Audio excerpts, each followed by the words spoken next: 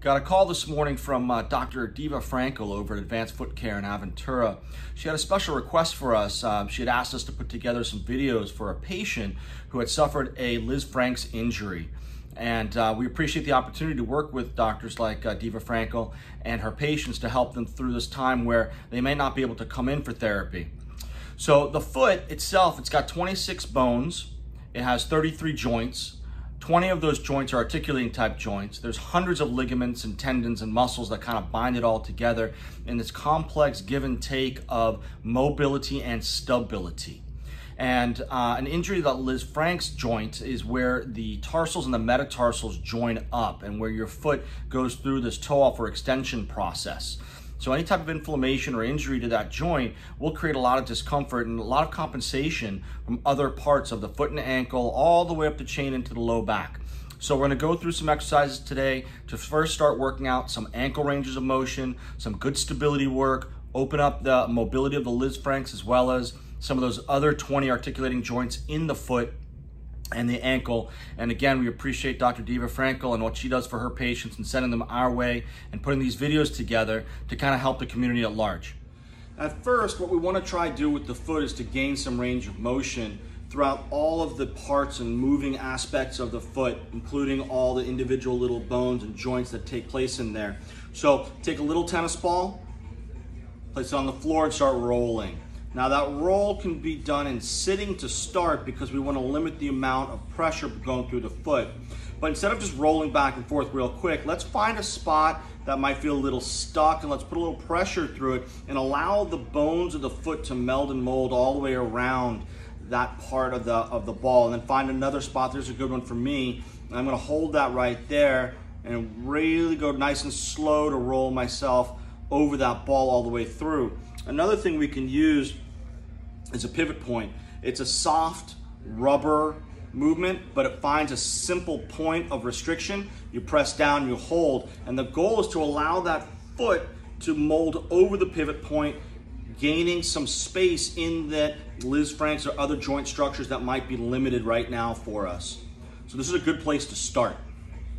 So one of the first exercises we can do to increase range of motion into dorsiflexion of the ankle is just bringing the foot onto a solid surface and slightly rocking back and forth.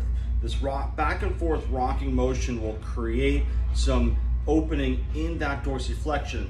By putting a little bit of extra weight into your to your knee, you can do what's called scouring the ankle joint, moving it back and forth, opening up that ankle. What it looks like from the side, and I'll turn sideways for you to see it, is we slightly come over the toes with our knees, we rock back and forth, scouring the ankle, making sure that we have appropriate movement of that subtalar joint, the talocrural joint, to make sure that we have good motion traveling through into dorsiflexion of the ankle. So another way to do this dorsiflexion movement is with a band. Placing that band all the way down as long to the ankle as you can, the band will pull the shin bone of the tibia backwards. And as you rock that knee coming forward into more dorsiflexion, the shin bone will be pulled backwards. It'll create some gapping in that ankle space. It's another great way to increase dorsiflexion of that ankle. Now, once we gain some range of motion through the ankle, we need to start working some specific range into the foot, into those 33 joints, right? We wanna make sure that we know what's happening in there. We need to make sure that the Frank's has a little bit of space to it. So what I've got here is an Airex pad, something that's got a little bit of give to it, and I've got it sitting on a mat. And that gives us just a little bit of pliability in the initial stages of returning back to range of motion and function after an injury. So I'm gonna step up out of this, but watch what's gonna happen is we're gonna go through that same extension motion and we're gonna try get some midfoot extension as we lift our toes coming into that midfoot range of motion. And the idea here is to try promote some extension that's gonna happen in that midfoot as we gain range and weight bearing status. So now that we've got the foot warmed up, we've got some range of motion going on in the ankle, and we're moving to more of a weight-bearing stance, stability type exercise. I've got two cones set up here, and they're only for markers.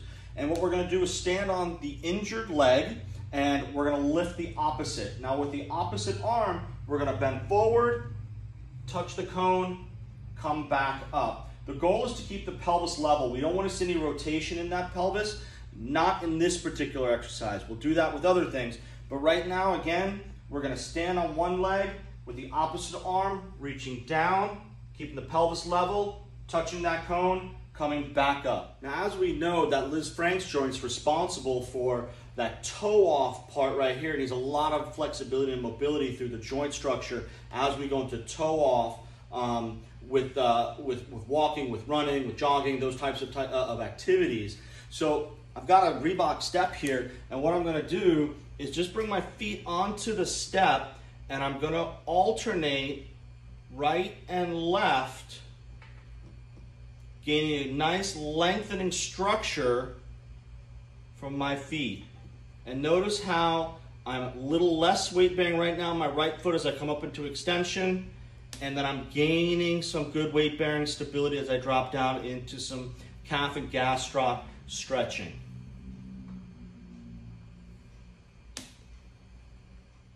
Progressing on to something a little bit more dynamic, what we can do here is place some tape in a nice uh, star fashion or circle fashion and standing right in the middle with one foot, we're gonna try touch each piece of tape coming back to the middle.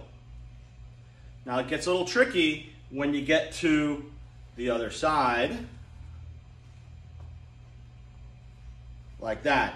Now you can do this on both legs because we want to be able to give the injured leg a little bit of a chance to rest and at the same time we want to gain stability equally on both sides. Give it a shot. Dr. Steve Dashavi came to our office this past summer and taught us about the stability program, stability with a Y, um, in stabilization in the Z-axis rotation. He talked about how um, all the systems in our body, our fascial slings, all work in a rotational fashion.